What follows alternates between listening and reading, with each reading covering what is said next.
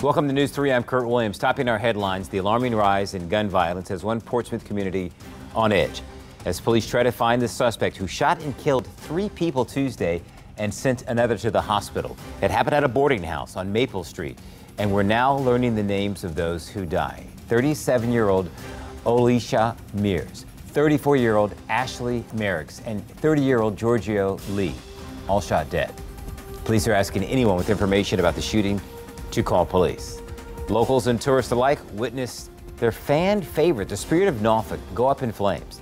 Now, we do know 100 people were on board. 89 of those were elementary school students, all got off safely. No injuries were reported. It was just inspected last month and passed. It was also in dry dock for the month of March, where it was given a thorough inspection. A spokesperson says that they are looking into moving another of their boats to Norfolk to accommodate summer bookings. Time now for a check on our forecast with meteorologist Christy Stewart.